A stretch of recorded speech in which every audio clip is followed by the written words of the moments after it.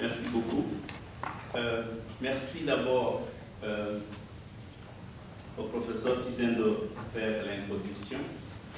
Merci à tous ceux nombreux qui ont pu organiser cette soirée. Merci à Olivier hein, qui, m'inspire, qui m'accompagne tout le temps, avec qui nous avons de grandes complicités. Merci à Jean-Jacques Rodin qui fait la promotion du livre. Et merci euh, beaucoup, beaucoup à la Fondation Roi euh, qui soutient, qui a soutenu euh, l'écriture de ce livre, qui soutient Disco et qui nous accompagne dans beaucoup, beaucoup d'autres programmes de développement que nous avons pour l'instant, ainsi que tous les amis qui êtes ici d'autres partenaires aussi financiers de l'ESCO. Euh, je ne vais pas véritablement vous présenter le livre. Le livre, il est là, vous pouvez l'obtenir par promotionnel, en particulier pour les étudiants. J'ai choisi de parler aujourd'hui de quelques défis pour la dignité paysanne en Afrique.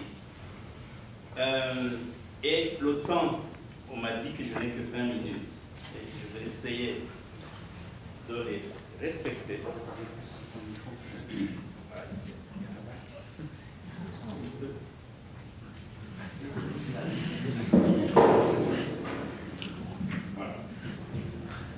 Merci.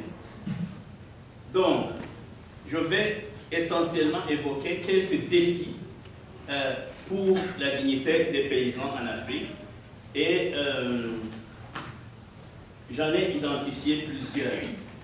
Avant de le faire, je voudrais vous expliquer pourquoi je parle de dignité paysanne. Franchement, il faudrait que vous changiez de... Si vous voulez suivre, il faudrait que ce soit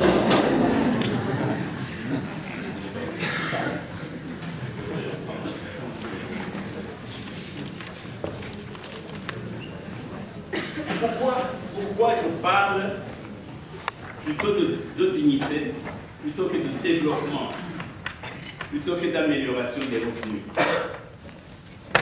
Eh bien, je vous assure qu'un paysan congolais, je parle du Kivu, donc de l'Est, et même du centre, un paysan burundais qui aurait 50 euros par mois de revenus a pratiquement la même aisance qu'un Belge qui a un salaire de 2000 euros. Je, ne blague pas. Un Burundais qui aurait 50 euros par mois, il est capable de vivre décemment. Il est capable de couvrir ses besoins alimentaires, de s'habiller, d'envoyer ses et d'être même un petit peu un privilégié. Un Belge qui touche 2000 euros, donc je pense qu'il mène aussi une vie pas des plus aisées en tout cas. Et donc, une des questions que nous sommes obligés de, poser, c'est qu'est-ce qui fait finalement la valeur, qu'est-ce qui fait la richesse d'une personne? La première chose que nous considérons comme essentielle, c'est que les paysans ont véritablement perdu leur identité. Aujourd'hui, être paysan en Afrique est considéré comme être dans un métier dégradant. On ne sait plus vivre de son agriculture, on ne sait plus vivre de son métier. Et c'est pénible. Hein. Si vous travaillez durement et vous touchez, je ne sais pas, 200 euros, vous ne savez pas vivre, je vous assure qu'il n'y a, a, rien de plus dur pour une personne humaine que de ne pas pouvoir vivre de son métier. La deuxième chose, c'est que les paysans aujourd'hui sont considérés comme des objets, en particulier par nous autres les chercheurs, c'est des objets de recherche, on étudie leurs besoins. Je ne sais pas si vous vous imaginez combien c'est dégradant pour une personne, que ce soit d'autres qui viennent étudier ses besoins. Et toute la coopération internationale est basée aujourd'hui sur l'analyse des besoins avec le cadre logique et tout ce que vous connaissez. Vous ne vous imaginez pas ce que le cadre logique a induit comme perversité dans le monde rural africain. C'est-à-dire, il y a d'autres personnes qui vont venir résoudre mes problèmes. Euh, les gens sont, considérés comme des mendiants, des personnes d'éternels enfants, et c'est les autres qui sont chargés de trouver des solutions. Les rendements du travail qui est réalisé, il n'est pas satisfaisant. On le sait, il n'est pas satisfaisant. Les paysans sont en train de devenir en Afrique des acheteurs nets de nourriture. Je ne sais pas si vous vous rendez compte de combien c'est terrible pour eux. Mais pourquoi? À cause de nombreuses exploitations. Je ne sais pas si vous pouvez vous imaginer que des personnes ne peuvent pas vivre en sécurité parce qu'on les contraint à des monocultures qui sont extrêmement, euh, qui, sont soumis à des, à des aléas, des aléas de prix, des aléas de maladie, des aléas climatiques. Et donc, de vivre dans l'incertitude absolue, sans savoir exactement de quoi le lendemain sera fait. Et surtout, ne plus être respecté. Vous n'avez plus le choix de choisir, vous n'avez plus le choix de votre nourriture. Vous n'avez plus le choix de votre culture. Vous n'avez plus le choix de votre foi ni d'un modèle économique. Le modèle économique de, des paysans africains, c'était un modèle de la valorisation d'individus au sein de communautés, dans des réseaux de solidarité. Reviendrai, je ne sais pas si j'aurai le temps. Et évidemment, d'être entièrement ballotté par les politiques. Aujourd'hui, le, monsieur A il vous parle de socialisme, le, B vous parle d'ethnie, le, troisième vous parle de religion. Et, voilà, le, paysan devient un objet. Et si véritablement on veut travailler au développement de l'Afrique, c'est important de restituer aux paysans sa dignité. Euh, les défis, les quelques-uns, il y en a des milliers, hein dont je vais parler ce soir, c'est d'abord celui du modèle agricole, c'est celui de la jeunesse rurale, des organisations paysannes, de la, monétarisation généralisée, des chaînes de valeur et des politiques agricoles. Voilà quelques-uns des sujets que j'ai choisis pour ce soir. Évidemment, euh, il y en a beaucoup d'autres, et évidemment, dans le livre, euh, ils sont longuement je voudrais d'abord parler de tout le défi du modèle agricole. Je pense que c'est le défi essentiel aujourd'hui pour la paysannerie. La plus, les grandes agences de développement que vous connaissez, Banque mondiale, euh, Union européenne, Agence française, vous les connaissez mieux que moi. Eh bien, actuellement, et on vient d'avoir des chiffres tout à l'heure, sont conscients du fait que l'Afrique est affamée. Et surtout, qu'il faut trouver une solution à l'alimentation des villes africaines, des mégalopoles qui sont en train de se développer un peu partout en Afrique. Ça devient un véritable souci. Et pour le faire, il préconise évidemment de système de mécanisation, agricole, d'agriculture industrielle, et il préconise la révolution verte qui est basée sur l'usage massif d'engrais et de pesticides, avec donc des monocultures pour mieux mécaniser, mieux utiliser les engrais et les pesticides. J'ai envie de, de, donner deux exemples qui sont patents. Je ne sais pas s'il y a des amis, il doit y avoir certainement l'un ou l'autre congolais de la RDC ici. les parcs agro-industriels, le président Joseph Kabila, pour essayer de nourrir Kinshasa, a basé toute sa politique agricole sur les parcs agro-industriels. Il s'agissait de confier à des expatriés de grands espaces euh, mécanisés pour essayer de produire de la nourriture. On en a imaginé 10 et seul un a fonctionné il a été mis en place avec 80 millions de dollars et il a nourri Kinshasa en maïs pendant Certains disent un mois, d'autres disent une semaine. Au Cameroun, dans la province de la Damawa, c'est autour de la ville de Ngaoundéré, donc vraiment en savane, une société exploite généralement 100 hectares de maïs de manière intensive et avec des engrais et, des pesticides pour produire du grid. Le grid, c'est un, en fait, un, produit qui est utilisé en brasserie pour remplacer un petit peu l'orge, hein, pour diminuer les quantités d'orge, donc diminuer les prix de la bière. On utilise notamment du grid, soit du maïs, soit du riz. Eh bien, Maïs Cam, 100 hectares, chaque trois ans, est obligé d'abandonner les 100 hectares parce que la terre est stérilisée, littéralement stérilisée par l'usage de pesticides et d'engrais. Et voilà le modèle qu'on est en train de proposer à l'Afrique. Cette question est grave. Parce que je m'excuse, hein, moi je suis révolté. Ma formation de base, hein, c'est une formation de pédologue, donc de, de, sciences du sol, de, fertilisation.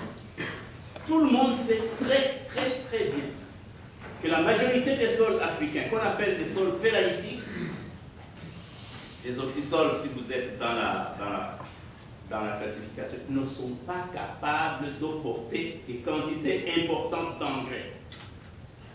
Alors que des sols de, des régions tempérées sont capables Allez, je vous donne des chiffres. Hein. C'est des noms. Ça s'appelle des, capacités d'échange catholique 2 à 3. Allez, prenez 2 à 3 milliers équivalents, peu importe, pour les sols latéritiques, eh bien, en Occident, ils sont capables d'emporter 100. Donc, une agriculture européenne sur ces sols-là, elle est capable de vivre sans matière organique. En Afrique, c'est absolument impossible. C'est du gaspillage. Et je ne comprends pas comment c'est les solutions qu'on est en train de proposer à l'Afrique. Techniquement, ces gens sont assez compétents pour comprendre que ça ne marche pas. Et c'est ça la principale source de la perte de la fertilité, que ce soit chez Maïskam, que ce soit dans les parcs agro-industriels. C'est pas possible. et l'agriculture africaine n'a pas une fonction uniquement de elle n'a pas d'abord une fonction économique, elle a d'abord une fonction alimentaire. Je vous assure que les, surplus alimentaires sont tellement réduits qu'on peut dire que 70-80% de la production agricole est autoconsommée. Je ne dis pas que c'est ça le modèle qu'il faut favoriser. Mais quand on entre dans des logiques de marché, de monoculture, au lieu d'entrer dans d'abord des logiques d'alimentation pour une alimentation diversifiée, eh bien, on, tue, on tue carrément tout tout l'objectif que vise le paysan dans l'agriculture. Et, donc, il y a vraiment des questions difficiles. Hein. Personnellement, chaque fois que je rencontre des, personnes qui font la promotion des monocultures, de, la révolution verte, une des questions à laquelle je n'ai jamais reçu de réponse est celle-ci. Supposez qu'on prenne les terres de tous les paysans. On les confie à des firmes industrielles qui utiliseraient ces fameuses méthodes dites plus, plus rentables, ce qui d'ailleurs est faux. La question, la question qui n'a pas reçu de réponse pour moi, c'est comment les paysans vont acheter cette nourriture une fois qu'ils auront perdu leur terre. Ok, on va nourrir peut-être les villes, mais les paysans qui auront perdu leur terre, ils vont manger quoi? Cette question-là, je n'ai jamais reçu de réponse. Et évidemment, la deuxième question, est très bien connue en Occident. Vous connaissez très bien la question du glyphosate, le Roundup. Il y a des débats couleux Parlement européen, États-Unis, partout, Monsanto a été condamné à plusieurs reprises. Mais je vous assure qu'en zone cotonnière africaine, et la zone cotonnière africaine, c'est toutes les savanes de l'Atlantique, de l'Atlantique à, euh, à l'océan Indien. Tout ça, Niger, Nord Cameroun, Kenya Nord, tous ces pays-là toute cette zone est cotonnière. Et on est en train de déverser des quantités incroyables de glyphosate avec tout ce qu'on entend. Plus simple, dans le maraîchage africain aujourd'hui, le produit le plus utilisé reste le titane. Tout le maraîchage que vous rencontrez autour des villes africaines, des campagnes africaines spécialisées dans le maraîchage, en particulier sur la tomate, c'est du titane qui est déversé dessus. Le titane est interdit dans l'Union européenne depuis 2003. Les produits sont partis en Afrique. La commission phytosanitaire d'Afrique centrale a interdit le titane en 2013. Dans mon pays, toutes les tomates qu'on mange reçoivent du titane jusqu'à la veille de la cueillette. Donc, les populations sont en train d'être empoisonnées, et voilà, et voilà. Les questions de biodiversité, pour aujourd'hui, l'humanité ne mange plus que quelques plantes et quelques variétés, avec tout le risque que si ces cultures étaient affectées par un éléa quelconque, qu'il soit climatique, qu'il soit de prix, qu'il soit de... La, catastrophe qui sera là, euh, elle, est immense pour l'humanité. Euh, ce qui est en train de se passer, ce qui s'est passé il y a 3 ou 4 ans, sur la, zone de l'Afrique australe, qui vit essentiellement du maïs, donc Zimbabwe, pardon, Zambie, euh, sud du Congo, Angola, qui sont des régions, pratiquement toute la Tanzanie, le maïs a été attaqué par la lame légionnaire, eh bien, c'est des familles. C'est des prix. Au Burundi, par exemple, le prix du maïs est monté, s'il vous plaît, de 400 francs à 1200 francs le kilo. Je ne sais pas si vous vous imaginez les risques qu'on est en train de faire subir à l'humanité. Et ensuite, je vous assure que si on donnait les mêmes moyens à l'agriculture familiale que les moyens qui sont en train d'être investis dans l'agriculture industrielle, eh bien, les résultats seraient complètement différents. Supposez que même il y ait des détournements comme ceux qu'on a eu euh, en RDC, au moins il y aurait quelques sous qui rentreraient dans, dans les poches des populations. Mais ce n'est pas cela qu'on est en train de souhaiter. Et donc, il y a un, défi important. Si on fait une superposition de l'agriculture familiale et de l'agriculture industrielle, d'abord il y a un gros mensonge que c'est l'agriculture industrielle qui nourrit le monde, mais 60% de la nourriture aujourd'hui consommée dans le monde est encore issue de l'agriculture euh, familiale. Et alors, tout ce qui est, toutes ces questions de, monoculture, d'usage massif d'engrais. Un élément très important de l'agriculture familiale qu'on n'aborde pas assez, c'est l'attachement au terroir. Si une personne est en agriculture familiale, elle a intérêt à ce que cette région puisse se développer. Si on est dans des systèmes d'agriculture industrielle, bien, Maïskam, hein, c'est l'exemple que je vous donne, on détruit, on détruit, et quand la terre est complètement euh, stérilisée, on va ailleurs. Si vous vivez de la terre et que vous ne pouvez pas vous permettre ça, il y a, il y a vos enfants, vous avez intérêt à ce qu'il y ait des politiques claires, qu'il y ait un enseignement pour les enfants, que le terroir soit conservé. Et donc c'est tout à fait clair que pour l'avenir de l'humanité, il y a des choix qui doivent être opérés. Et je vous assure, donc j'ai parlé des questions de résilience, je ne reviendrai pas. Et finalement, je peux vous attester que l'agriculture familiale, l'agriculture intégrée est plus rentable. J'ai la fierté de vous présenter cette photo. Parce qu'elle est, issue du travail de Adisco, d'ailleurs sur un projet soutenu par la Fondation Roi Baudouin.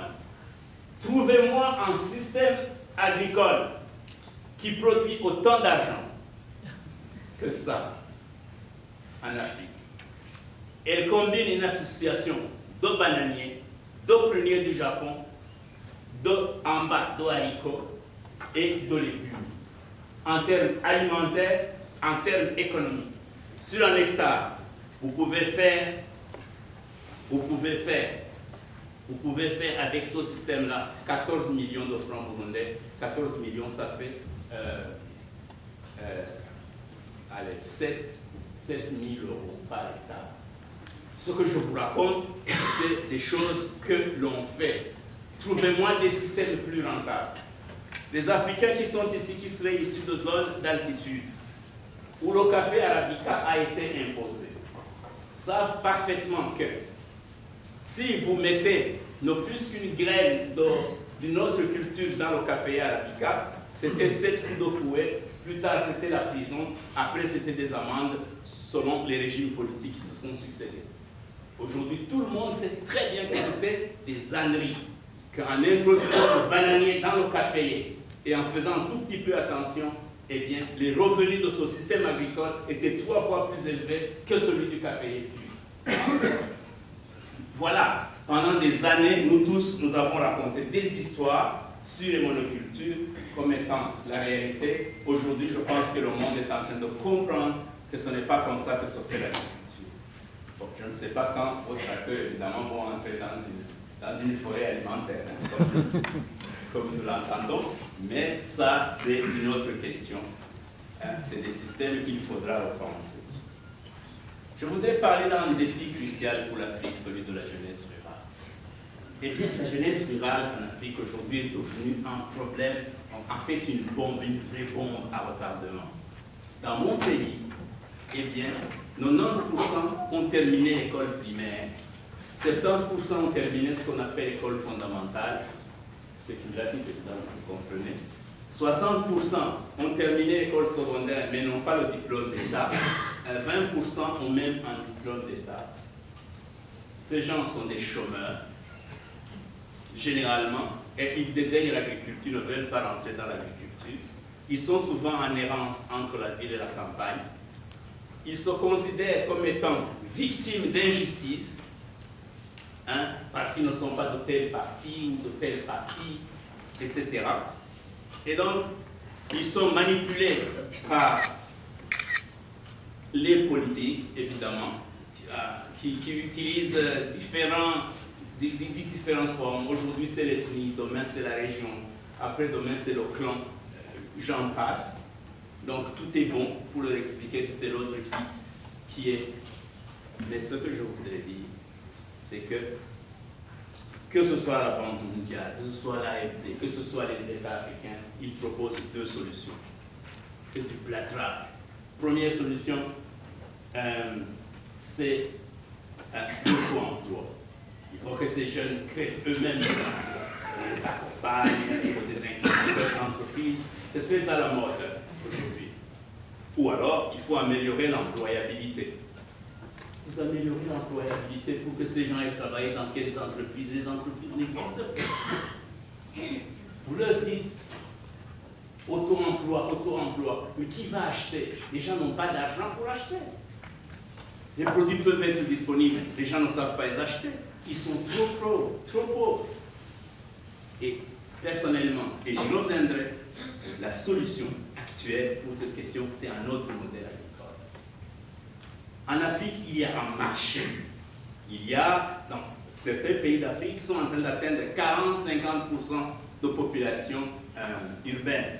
Ces villes aujourd'hui sont nourries essentiellement par des importations de produits étrangers, asiatiques ou européens. Et donc là, il y a un marché à prendre. Et, donc, il est tout à fait possible, tout à fait possible d'arriver à donner de l'espoir à ces, personnes dans un modèle agricole différent que j'appelle celui de filière euh, agricole euh, novatrice et attractive. Il y a un problème, malheureusement, la plupart de ceux qui réussissent s'en vont, rentrent dans les vies. L'autre défi que je voudrais rapidement évoquer, il est, longuement développé dans le livre, c'est le défi de, des organisations paysannes qui ont été considérées pendant longtemps comme la voie obligée pour faire du, développement rural. Eh bien, les organisations paysannes, eh bien, Elle joue des rôles intéressants au niveau économique, en particulier dans les chaînes de valeur. Il y a vraiment des organisations paysannes, des leaders paysans qui ont joué un rôle formidable dans la formation. J'ai cité les noms au Burkina Faso, la Sénat au Burundi, le BINOM au Cameroun, et Cano pour la protection sociale. Et une des, un des meilleurs succès des, des, plateformes nationales ou régionales des organisations paysannes, c'est le plaidoyer politique. Ces derniers temps, les organisations paysannes ont joué un rôle important pour euh, défendre des modèles alternatifs d'agriculture euh, en Afrique. Ce n'est pas toujours réussi, mais quand même, il y a, il y a un certain changement, il y a une adoption de, de l'agriculture familiale comme modèle qui commence quand même à s'imposer progressivement. Et c'est tout le fruit des organisations paysannes. Mais les organisations paysannes, vraiment, ne sont pas une panacée. Hein. Et elles ont une très faible vision sociopolitique. En Afrique, je ne pense pas que les organisations paysannes sont en train de contribuer au changement politique et social. C'est les autres sociétés civiles qui sont en train de jouer ce rôle. Et euh, il y a très peu de place pour l'individu. Donc ça devient des, des organisations parfois grégaires, contrôlées par une poignée de leaders, d'ailleurs qui les instrumentalisent souvent à leur fin, avec des ambitions démesurées, avec de terribles conflits de leadership et surtout de la complaisance dans l'air. Des organisations paysannes qui comptent jusqu'à 200 000 personnes, eh bien, il suffit que l'aide internationale se retire et elle, s'éteigne du jour au lendemain. Alors, on voit que c'est très facile de construire une organisation paysanne. J'ai passé 40 ans de ma vie dedans. Je peux vous assurer que c'est la chose la plus compliquée aujourd'hui. Euh, mais, mais, tout le monde croit que c'est facile, on écrit un texte et c'est tout. Oui, oui, les faire naître, c'est facile. Les accompagner, en faire des, acteurs de développement économique et social, eh bien, c'est tout à fait autre chose. Mais les organisations paysannes ne couvrent que 20% de la population. Ils reçoivent pratiquement 90% de l'aide internationale. donc, 80% de la population est abandonnée à son sort. Voilà certainement une des causes du sous-développement de l'Afrique. Enfin, du sous-développement. Du fait que les milliards qui sont injectés dans le développement rural ne marche pas. On n'accompagne pas les vrais paysans. On accompagne quelques personnes. Je voudrais parler longuement du mirage de l'argent. Eh bien, l'argent, et en particulier le dollar, vous le savez, c'est le principal outil de domination du monde. L'argent n'est plus le fruit du travail, surtout ici chez vous. Au sud, généralement, l'argent est quand même encore le fruit du travail, encore que, encore que dans les milieux riches. L'argent est surtout gagné ici chez vous par la spéculation boursière. Au niveau macro et au niveau méso, vous entendez que les pays africains ont des taux de croissance extrêmement élevés. 7%, 8%, 9% même à taux annoncé dans certains pays quand on vous dit que le Congo démocratique a un taux de croissance de 7% et que vous mettez le pied dans un village congolais, les amis, hein, vous pleurez. Vous, vous, mettez, vous, versez des larmes, quoi, si vous avez encore une âme. Vous vous dites, mais c'est où ça? Les parents doivent payer les... Ah tiens, ça vient de changer, paraît-il, depuis la semaine passée. vrai. Vous vous dites, il n'y a pas de route. Et, et cette croissance dont on parle, c'est quoi? Eh bien, cette théorie-là, du trickle-down, du ruissellement, que, que si une classe s'enrichit, ça va, ça va ruisseler sur les populations pauvres, il n'y a pas d'aberration plus grande que, ça. Je crois au contraire que l'argent va se concentrer davantage entre les riches et tourner. Et alors, tout le discours des, agents de développement, hein, vous versez de l'eau dans un pot troué, évidemment le développement doit être le renforcement des capacités humaines.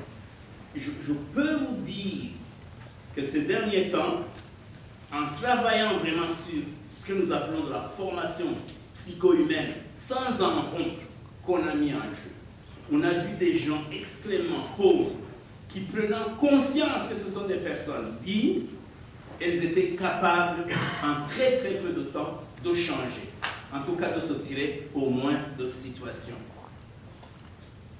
Et ce n'est pas parce que des gens ont l'argent que leurs conditions socio-économiques s'améliorent. Hein. Que l'argent est, est investi dans la santé, que l'argent est investi dans la scolarité, que l'argent est investi même dans l'alimentation. Bien au contraire. Il existe des périodes de l'année où en Afrique, il y a énormément d'argent dans les villages. Euh, les, récoltes de coton, de café, de riz, eh bien, c'est beaucoup d'argent, c'est des milliards qui sont déversés pendant une période. Repassé un mois après, il n'y a plus aucun franc. Cet argent est reparti en ville, généralement à travers la bière. Donc, la question fondamentale du développement actuel de l'Afrique n'est pas celle de l'argent, pas du tout. C'est celle de garder l'argent dans le village. Malheureusement, je n'aurais pas dû utiliser cet argent. Et donc aujourd'hui, si vraiment on veut travailler au développement de l'Afrique, il faut réfléchir en termes d'activité et non pas d'argent. Quelles sont les activités qui peuvent vivifier le monde rural africain, qui peuvent lui donner du sens, qui peuvent faire en sorte que les gens y trouvent des solutions pour leur futur? Si, si on change de paradigme en disant recherchons des activités qui coûtent d'ailleurs, qui coûtent le moins cher, basées sur des opportunités d'argent, et non pas sur des besoins que nous avons imaginés et qu'on peut faire en sorte qu'elles occupent les populations, qu'elles leur permettent de générer de revenus, de satisfaire leurs besoins fondamentaux, eh bien, à ce moment-là, l'Afrique va se développer. Quant à l'argent, il n'y a aucune chance, aucune chance, puisque de toute façon, le, contrôle de l'argent se situe dans des sphères qui sont totalement différentes de ceux du monde africain on est en train de courir un danger terrible de marchandisation des relations sociales. En Afrique, il y avait un droit d'aînesse. Ce droit d'aînesse est en train d'être remplacé par le droit du plus riche. Et donc, toute la question est comment recentrer le développement sur le renforcement des capacités humaines, sur la dignité, redonner de la dignité aux personnes, leur donner les capacités eux-mêmes eux-mêmes de développer des initiatives qui peuvent répondre à leur modèle de vie. C'est ça le défi actuel du développement. Et non tout ce qu'on est en train de faire, microcrédit, machin, euh, de vulgarisation c'est du plâtrage. Hein. On, met, on, met du plâtre sur la noce qui ne va pas guérir. Puisque cette personne n'a ni la dignité, ni les capacités humaines d'assumer tout ça. Euh, voilà. Et évidemment dans, une, dans, des agricultures, d'abord, qui sont connectées au marché local. Parce que comme je vais vous le montrer ici en parlant du défi de la maîtrise des chaînes de valeur, j'aurais pu en parler longuement, la maîtrise des chaînes de valeur est importante au niveau local. Mais voilà ce dessin de la banane dessert, banane dessert ou banane fruit voilà comment se répartit la, la, chaîne des gains dans euh, les travailleurs agricoles, c'est-à-dire les paysans.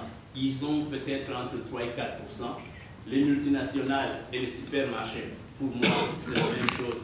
Ils ont plus de 80% Les autres intervenants, transporteurs, conditionnement, etc., c'est à 8%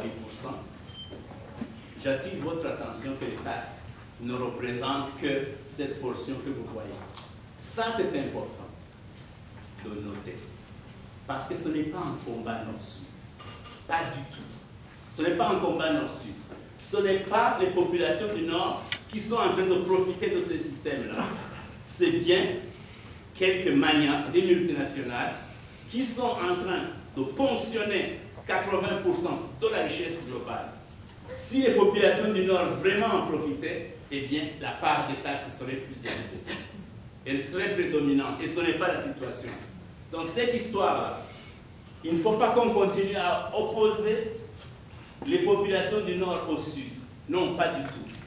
C'est aujourd'hui une, une caste, véritablement une caste d'individus qui contrôlent l'essentiel de la richesse mondiale et c'est le monde entier qui doit se lever pour que cette situation-là puisse changer. Euh, il paraît que c'est fini. Dans le café, c'est la même chose. Dans le café, c'est le même problème. Mais je permettez-moi d'avoir deux minutes pour parler des politiques agricoles. Parce que c'est quand même ça le, le, le, canal principal par lequel transitent ces, ces injustices. La première question que nous devons nous poser aujourd'hui, c'est qui est en train de définir les politiques agricoles en Afrique? Je vous assure que aujourd'hui, c'est les, les, organisations internationales, c'est la Banque mondiale, c'est l'Union européenne, l'AFD, pour le FUDA que je respecte beaucoup, qui fait quand même un peu de... C'est ces organisations-là qui, à travers, à travers des mécanismes parfois directs, parfois indirects, sont en train d'imposer insidieusement des politiques agricoles qui sont basées, vous le savez tous, sur euh, des monocultures. Donc il faut vendre des semences, il faut vendre des engrais, il faut contrôler la nourriture de l'humanité, etc. Et il y a des complices assez directs, type IFDC, AGRA, etc. Et ils agissent soit via des conseils étrangers qui sont installés dans le ministère, soit ils agissent dans la rédaction de ce qu'on appelle, ça dépend du pays. Dans le mien, au Cameroun, ça s'appelait DSP, documents stratégiques de lutte contre la pauvreté. Dans, dans mon pays, ça s'appelle cadre stratégique de lutte contre la pauvreté. Il y en a aujourd'hui dans tous les pays, et c'est là que se tracent toutes les orientations du développement national.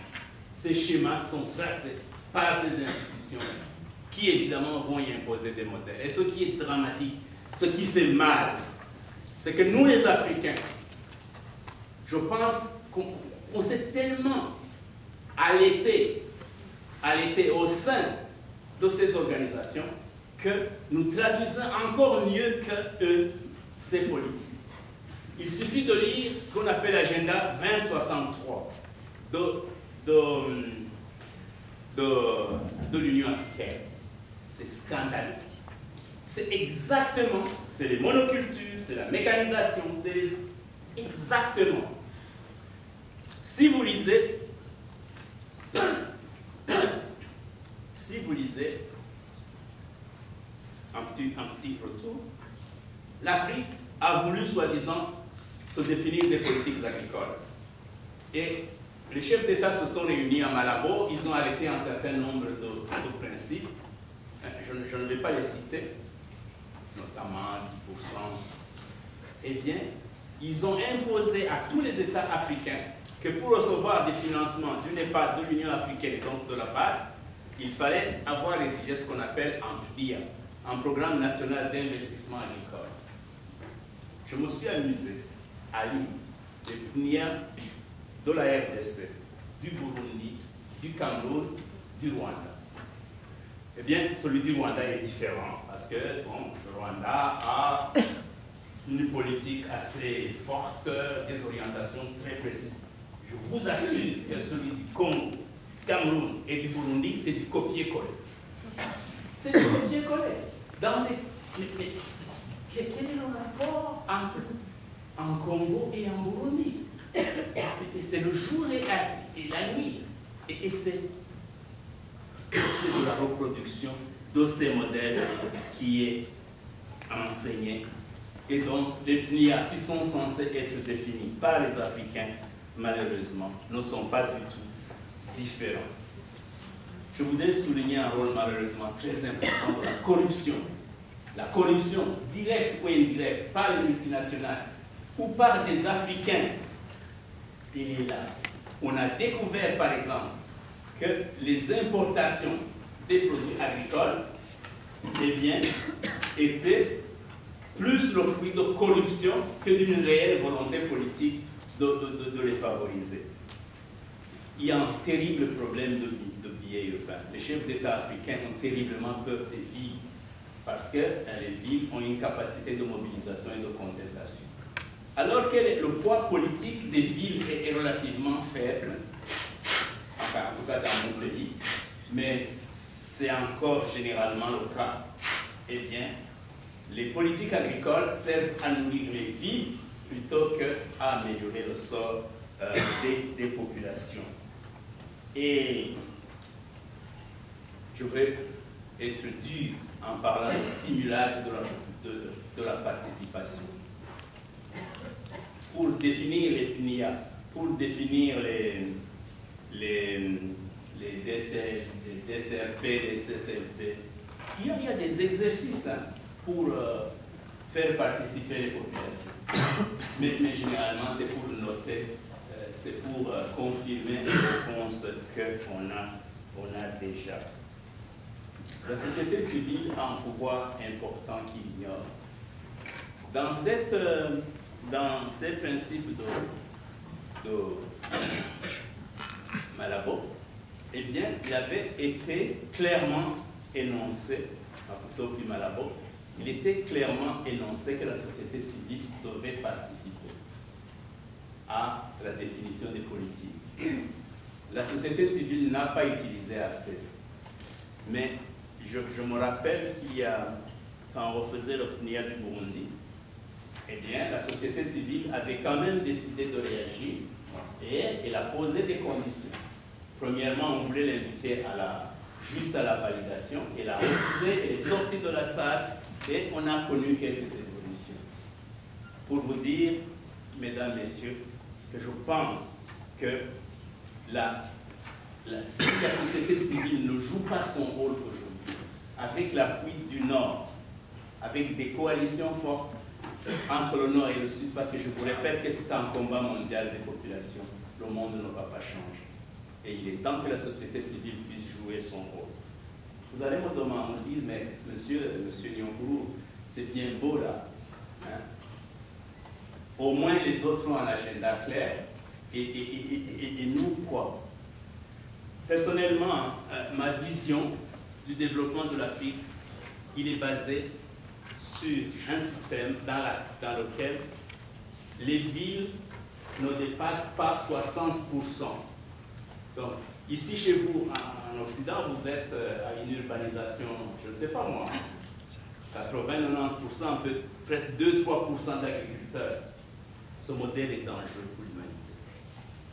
Moi, je préconise que là, on stabilise l'urbanisation à 60-70%, je parle des politiques, et qu'on pratique une agriculture de taille humaine, avec des exploitations qui auraient une taille de plus ou moins 5 hectares. Un hectare suffit très largement pour nourrir, pour faire vivre une famille.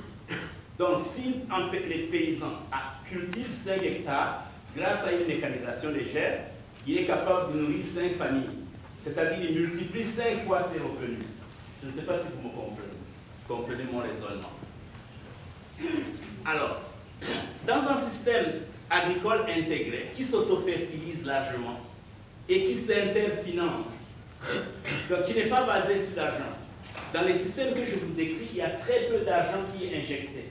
Mais, euh, je ne sais pas moi, le haricot peut financer euh, le maïs, la fertilité, voilà, des systèmes intégrés de ce que nous appelons les EFI.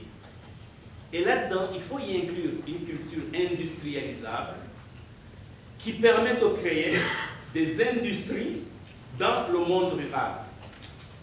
Et de telle sorte qu'on puisse générer des, des emplois non agricoles. Des emplois non agricoles dans l'industrie locale, avec des possibilités maintenant de cotisation pour la protection sociale, avec priorité aux marchés locaux, c'est très important, puisque vous avez vu que sur les marchés internationaux, on sait où la plus-value va. Avec des politiques vigoureuses de production des marchés locaux et avec les moyens générés, progresser alors vers une industrialisation de l'ensemble du continent qui est inévitable, mais qui serait une industrialisation qui s'offrait dans le respect euh, des, valeurs écologiques, des valeurs spirituelles, des valeurs symboliques euh, de l'Afrique et de l'humanité. Merci, merci beaucoup de nous joindre à nous pour ce combat. Euh, vous serez enrichis en tout cas en lisant ce livre. Je vous informe que la vente de ce euh, ne va pas dans mes poches et va pour soutenir des paysans en Afrique à qui on veut restituer ce qu'ils nous ont, donné. Si j'ai bien compris, il y a un prix promotionnel de 10 euros les étudiants mais il faut prouver que vous êtes étudiant. je ne sais pas comment. Moi aussi, je suis étudiant. Et non, non, sans blague, et donc, si je comprends bien, 25 euros pour euh, les non-étudiants. Voilà, je vous remercie.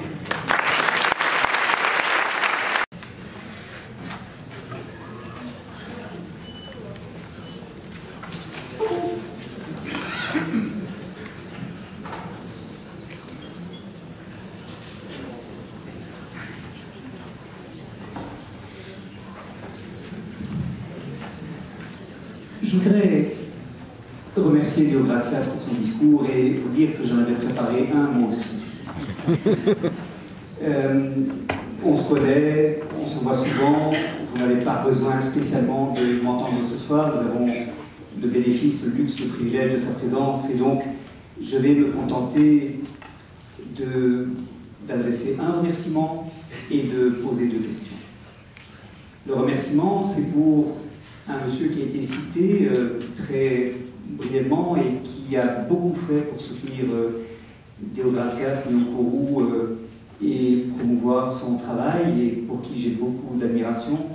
c'est Marc Schmiss, qui est notamment l'éditeur de ses livres et qui n'a cessé de mettre son énergie au, au, service de la cause. Et je cite d'autant plus volontiers Marc Schmitt qu'il a aussi édité un autre grand militant euh, du développement qui s'appelle Denis Mukwege et qui a reçu, vous le savez, l'an dernier le prix Nobel de la paix pour son travail euh, au service des femmes victimes de violences sexuelles en RDC. Je n'en dis pas plus, mais je crois que Schmitz mérite vos applaudissements.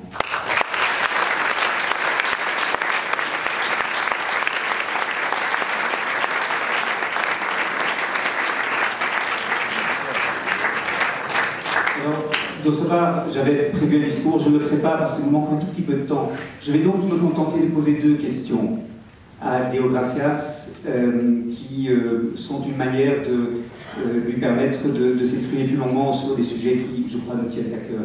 Et la première question est la suivante. on a beaucoup misé par le passé sur le commerce comme manière de promouvoir le développement, y compris dans le monde agricole. Et notamment, le commerce équitable est fondé sur l'idée que pourvu qu'il soit rémunérateur pour les, paysans et paysannes, pourvu qu'il passe par des coopératives qui développent des projets sociaux, pourvu que euh, les consommateurs, les acheteurs de ces produits acceptent de payer la, petite prime euh, euh, qui, traduit cette spécificité de la filière du commerce équitable, on pourrait, à travers cela, répondre aux questions de développement et le commerce équitable est notamment très développé pour un produit tropical que Deoracias, tu connais très très bien, c'est le café. Et aujourd'hui, le monde du commerce équitable se pose la question de savoir comment réconcilier son approche traditionnelle avec euh, l'assistance à la souveraineté alimentaire, au développement de cultures vivrières, à la relocalisation de la production, aux chaînes courtes, locales, qui privilégient euh, la, la, production de euh, d'aliments pour les, communautés locales. Euh, et, je voulais, Dérossias, t'entendre sur la manière dont il fallait repenser peut-être aujourd'hui les filières du commerce équitable. Sont-elles encore une promesse? Doivent-elles être repensées? Est-ce qu'elles sont conciliables avec l'insistance sur la souveraineté alimentaire? C'est la première question. Et puis, j'ai une deuxième question qui euh, vient de ma fréquentation des des gouvernements qui travaillent sur la question du développement de l'agriculture dans les pays en développement et qui, et c'est cela sur quoi mon exposé aurait pu porter, qui ont très souvent promu des solutions agro-industrielles au départ d'un certain nombre d'idées euh, préconçues sur les bénéfices de ce type de, développement agricole. Euh, quand on propose à ces gouvernements l'alternative que constitue l'agroécologie, euh, c'est-à-dire une agriculture à faible usage d'intrants, intensive en connaissances, un peu plus intensive en main-d'œuvre, qui combine dans des cultures associées et dans des, dans, dans des, dans des systèmes euh, agro-pastoraux euh, qui favorisent la complémentarité des plantes, quand on, quand on promeut l'agroécologie, on reçoit un certain nombre de euh, réponses un peu mécaniquement formulées par ces gouvernements auprès desquels l'on tient ce plaidoyer. Par exemple, on nous dit, mais ce que vous préconisez avec l'agroécologie, c'est un retour en arrière. Et parfois, nous autres défenseurs de l'agroécologie, nous commettons l'erreur de dire, oui, oui, c'est un, un retour au, savoir traditionnel, c'est l'agriculture que pratiquaient nos, grands-parents et, il faudrait qu'on réapprenne de ces recettes-là. Et c'est une erreur de parler de l'agroécologie en ces termes-là, qui est une agriculture qu'il nous faut pour le XXIe siècle, efficiente en ressources, respectueuse de la santé des sols et euh, permettant de réduire notre dépendance sur les intrants externes. Mais ce réflexe vient de répondre c'est un retour en arrière et donc on n'en veut pas. Ou bien alors, deuxième réponse un peu stéréotypique, c'est priver l'Afrique des progrès que vous, dans l'Occident, vous avez pu réaliser euh, depuis euh, euh, les années 1920-1930, l'introduction d'engrais azotés, l'utilisation de semences améliorées, la mécanisation de la production, l'irrigation à grande échelle, tout cela, vous avez pu vous le permettre. Au nom de quoi venez-vous maintenant donner la leçon à l'Afrique en lui interdisant de, réaliser les progrès que vous avez faits Alors Deogracias a déjà en partie répondu à cette, question euh, en disant euh, il ne faudrait pas que l'urbanisation continue de progresser euh, aussi vite dans les années qui viennent. Il proposerait un seuil à 60-70% de la population. on a envie de dire au fond, comme, comme Coluche jadis, quand on voit votre succès, ça donne vraiment envie d'échouer. Et je pense qu'il a, il a, je pense que Deogracias a raison de nous alerter sur le danger d'épouser cette trajectoire, bien que cela soit, je pense que Deogracias le sait mieux que quiconque, le fantasme de beaucoup de dirigeants en Afrique, que, au fond, de, euh, de mimer la trajectoire que nous avons connue dans nos pays, mais en faisant faire à euh, cette agriculture une transformation en quelques dizaines d'années que nous avons mis un siècle à faire pour nous-mêmes. Et donc ça, c'est la deuxième réponse stéréotypique que l'on reçoit. Et puis il y a une troisième réponse que l'on reçoit qui consiste à dire, au fond, euh, ce que vous préconisez avec l'agroécologie, c'est que l'Afrique n'aurait pas à se nourrir elle-même, elle va continuer à devoir dépendre d'importations de denrées alimentaires. Or, la dépendance des pays africains sur les importations est, déjà très élevée, ces pays sont déjà vulnérables en cas de, volatilité des, prix sur les marchés internationaux. Et donc, euh, l'agroécologie serait, c'est ce qu'on entend souvent, c'est devenu presque un slogan, euh, c'est en tout cas une ritournelle, euh, l'agroécologie serait incapable de nourrir le monde. Et je crois que c'est une profonde erreur. Beaucoup d'études montrent que l'agriculture pratiquée à faible usage d'intrants sur des relativement petites parcelles avec une relativement forte intensité de main-d'œuvre est en fait extrêmement productive à l'hectare.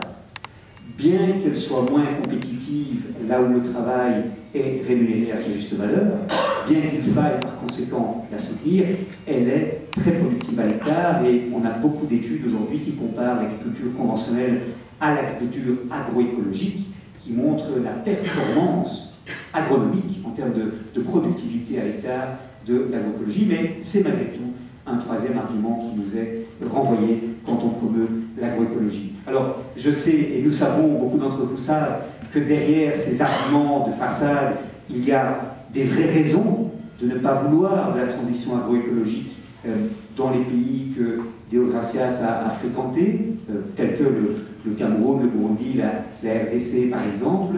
Euh, ces raisons tiennent à l'intérêt que les investisseurs ont à, utiliser pour des filières d'exportation les, les ressources de ces pays, tiennent aussi à l'intérêt des, des, entreprises qui sont des fournisseurs d'intrants et, et, à la politique que suivent des organisations comme l'Alliance pour la Révolution verte pour l'Afrique, qui a été citée au passage par Desgracias. Mais ma deuxième question à Desgracias, c'est de ces trois arguments, lequel Desgracias as-tu le plus envie de, de, de relever pour, pour y donner une réponse Voilà, merci. Merci beaucoup, Olivier. C'est toujours un plaisir euh, d'entendre vos réflexions aussi riches. Euh, merci hein, d'avoir pensé aussi à, remercier Marc pour tout le travail de promotion qu'il fait. Euh, la question de la question qui concerne le, fair trade.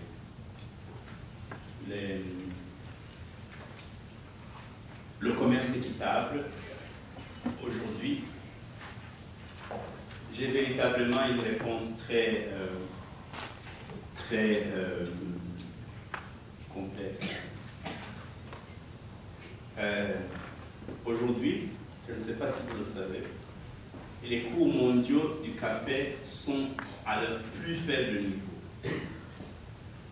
Euh, sur la, bourse de New York, qui, qui cote le café arabica, aujourd'hui, euh, un, livre, un livre de, café arabica est à peu près à 92 cents. Euh, il y a trois ans, ce prix était à 170 cents. Et on vient de vivre plus ou moins une période de 7-8 ans où ce cours s'est maintenu entre 140 et 200 cents. Imaginez-vous euh, le drame que cela représente. Les cours sont vraiment abominables et dans, les pays qui commercialisent l'arabica aujourd'hui, les États sont obligés d'intervenir massivement, y compris un pays comme le, mien, qui est un des pays les plus pauvres, qui sont obligés de, bonifier les, intérêts bancaires. Et malheureusement, je suis obligé de dire que n'eût été, été la prime fair trade, eh bien, on pourrait dire que toutes les coopératives de commercialisation du café seraient tombées en faillite. Bon, elles sont en difficulté, mais au moins, au moins, elles réussissent grâce au label Fairtrade, à vendre le café mieux que le reste de la filière. Le consortium des coopératives de café que nous accompagnons contrôle entre 15 et 20% de la production du café du Burundi et dans la crise actuelle que traverse le café et grâce, et grâce justement au, au fair trade, on est arrivé, euh, on obtient la, prime est de 20, 20, 20 cents, 20 cents dollars par kilo. Ce n'est pas rien, transformé dans les monnaies locales. Voilà. Ça, c'est une situation qui est tout à fait conjoncturelle. Alors, la prime fair trade, c'est des conditions c'est des conditions plus ou moins sociales qu'il faut remplir. Je peux vous dire que si vous vraiment, les, les, les, les primes fair trade, les inspections étaient payées par les coopératives entièrement, eh bien, il faudrait des quantités de production tellement élevées qu'aucune coopérative ne serait déjà en mesure de les remplir. Donc, vous voyez la contradiction presque de ce que je dis. Ensuite, les 20 cents par kilo de café, euh, de café vert que sont en train de percevoir les paysans. La multinationale qui commercialise. Alors, je vais vous poser la question. Vous êtes des grands buveurs de café ici. quelle est la différence entre un prix entre un kilo de café fair trade et un café euh, normal, un café euh, conventionnel, comme on l'appelle? Est-ce que quelqu'un peut me donner un peu un sachet, un kilo? Café Le tout Non, non, jamais. Non. 50% 30% 10%. 10%. 10%. Voilà. Donc, les magasins qui commercialisent du café fair trade gagnent 10%. Le paysan gagne 2%. Ça va. C'est ça. Même, moins que 2%. Je vous assure. Parce que 20 cents, c'est sûr. Si on, si on prend une moyenne de 3 dollars le kilo, alors 20 cents, donc qu'est-ce que ça représente par rapport à 3 dollars Faites le calcul. Vous verrez la différence. Mais la question n'est pas vraiment celle-là. La question n'est pas tout à fait celle-là. Ok, c'est déjà bien qu'on ait pris en considération le fait que le paysan gagne mieux, que le paysan soit mieux récompensé. Cette récompense, regardez, remémorez-vous la banane que je vous ai dessinée Les multinationales, de toute façon, elles prennent 80% de cette richesse. Donc, oui, commerce équitable, mais la lutte est ailleurs. La lutte se situe à un autre niveau. C'est vraiment une lutte de justice, de répartition de la plus-value dans le monde. Ce n'est pas comme ça. Ce n'est pas comme ça en donnant quelques miettes à des paysans, un peu mieux, disons.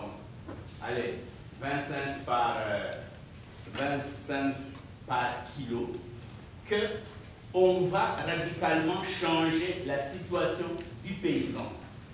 Ça, ça représente quelques miettes, hein, au lieu peut-être des 7, hein, allez, les 7%, les, les 3-4% qu'avait le paysan, il va peut-être en avoir 4 ou 5. Mais la multinationale et les supermarchés vont garder leurs 80%. Donc il y a, un, phénomène d'injustice et d'inégalité qu'il faut combattre à la source. Et c'est ce que je ne cesse de vous répéter. C'est quelque chose d'inacceptable sur le plan mondial. Il faut qu'on arrive à redistribuer aux populations les gains qui sont réalisés par les, multinationales.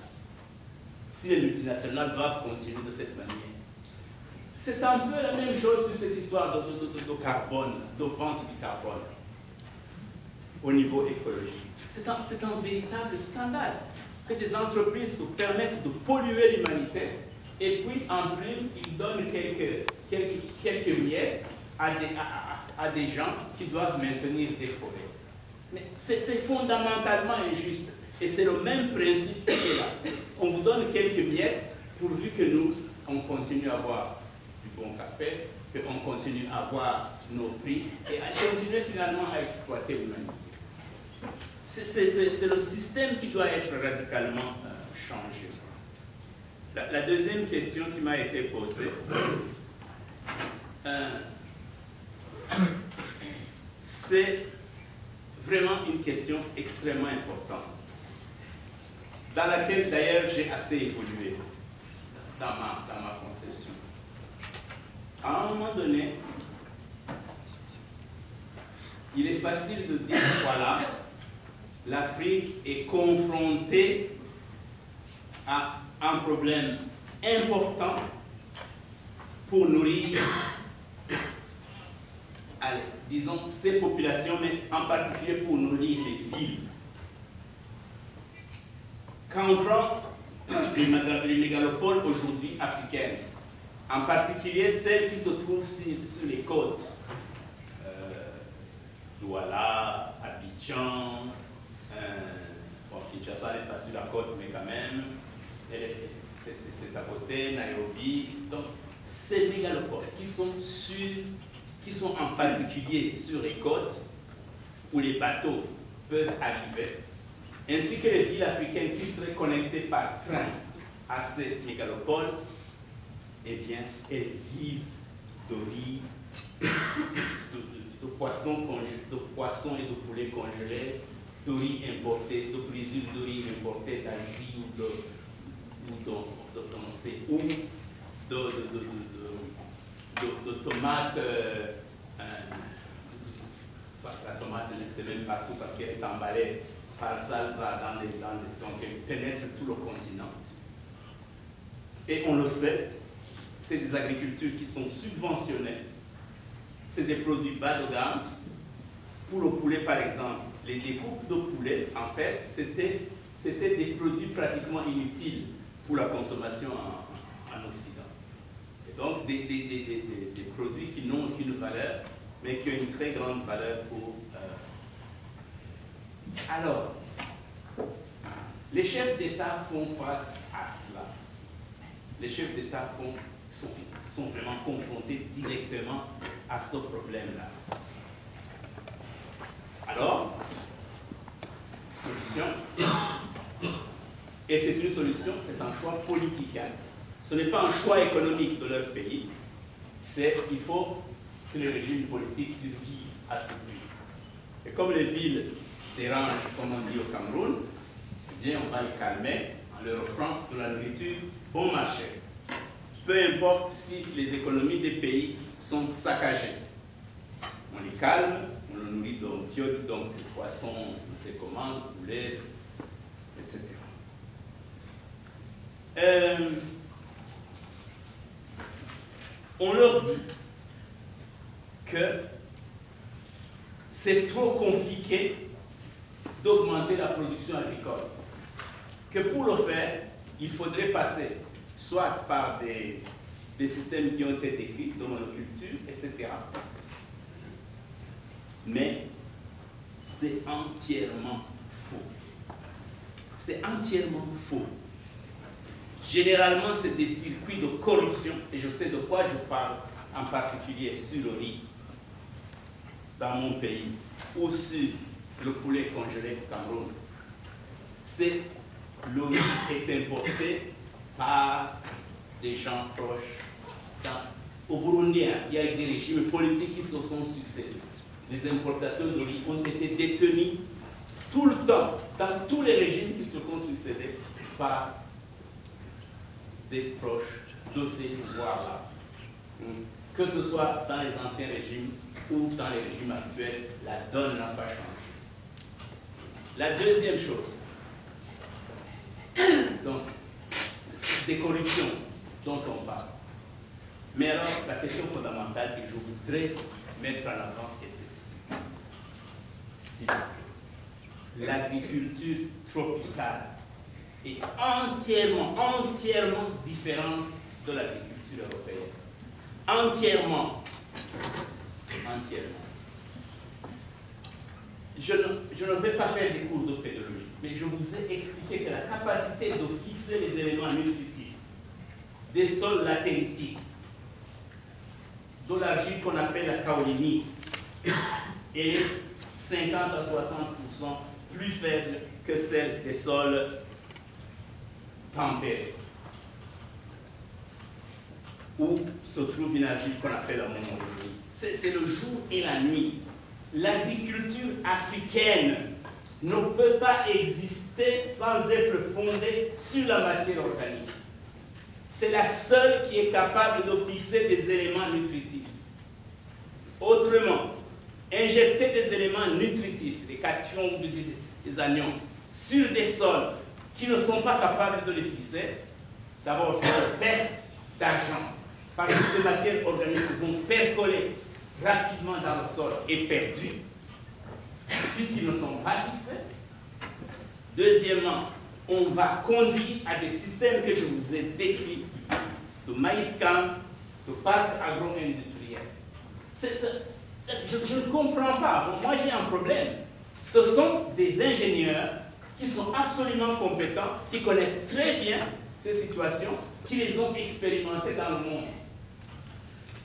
Il y a, un discours que j'aimerais beaucoup corriger, qu'on rencontre dans les coopérations internationales. On dit que l'Afrique doit aussi aller en transition agroécologique. Mais c'est totalement faux. L'Afrique ne doit pas aller en transition agroécologique. L'Afrique doit plutôt éviter d'aller en transition agro-industrielle. Et le discours, les choix qu'on fait sont complètement différents. Donc, il ne s'agit pas de... Professeur, il ne s'agit pas du tout de, de, de dire, voilà, il y a un modèle qui doit nourrir mieux. Non, il s'agit de dire, est-ce qu'on sacrifie définitivement les sols africains pour qu'ils deviennent latéritisés, stérilisés, ou, et alors à ce moment, on consacre à jamais une Afrique qui sera nourrie par le Nord, et j'espère que ce n'est pas dans leur plan, je n'ose pas, je n'ose pas l'imaginer. J'ose espérer que c'est parce que les gens ont expérimenté un modèle qu'ils veulent calquer sans comprendre la différence fondamentale entre les propriétés des sols africains et... Voilà. Voilà. Et là, là je ne suis que sur un, argumentaire technique, hein, purement technique.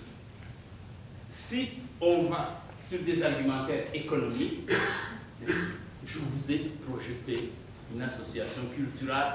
Montrez-moi un système qui peut rapporter plus d'argent que ça, y compris les cultures intensives. Ils ne peuvent pas atteindre 7000 dollars. Voilà, je ne sais pas si j'ai répondu à vos questions. C'est des aberrations. Maintenant, le grand problème, c'est les ingénieurs. Ici, je pense qu'il y a des, des, des étudiants ingénieurs, des ingénieurs qui sont ici. Nous avons une terrible responsabilité, les amis. Nous avons une terrible responsabilité qu'on n'est pas en train d'assumer. On n'est pas en train d'essayer des choses, on n'est pas en train d'essayer des choses, on n'est pas en train de développer des, des, des, des alternatives, on n'est pas en train de prouver aux États que ça marche. Et c'est ça le combat actuel dans lequel nous devons nous engager. C'est développer des modèles qui marchent, les montrer aux États et les faire adopter par les États. Voilà. C'est une grande responsabilité des ingénieurs africains et européens.